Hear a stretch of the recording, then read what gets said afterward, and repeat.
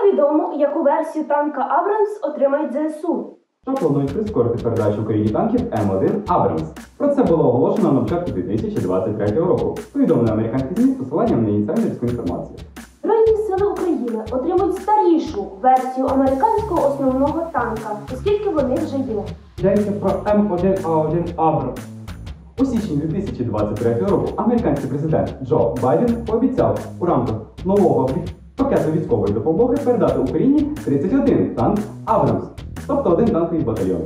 Стверджувалося, що це найновіші бойові броньовані машини М1А2 Абрамс.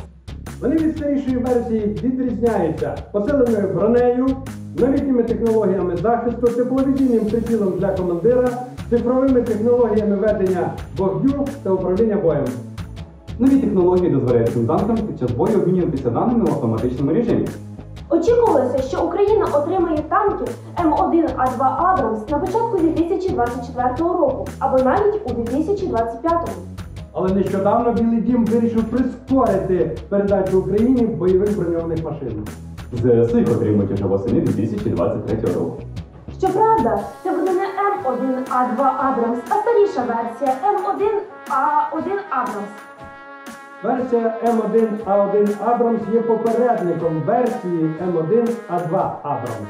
Хоча М1А1 і є старішою версією американського основного танку, але це не означає, що треба піднімати тривогу і казати, що США надає погану військову допомогу. Так, він не такий високотехнологічний, як М1А2.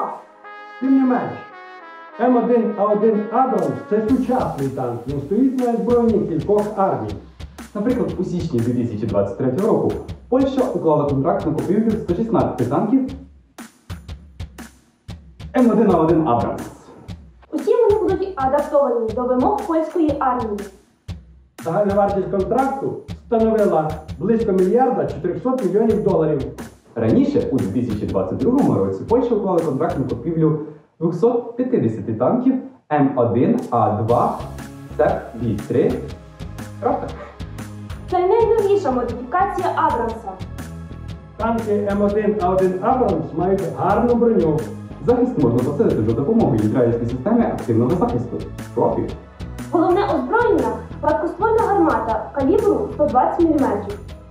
До неї пропонується кілька типів снарядів. Слава Україні!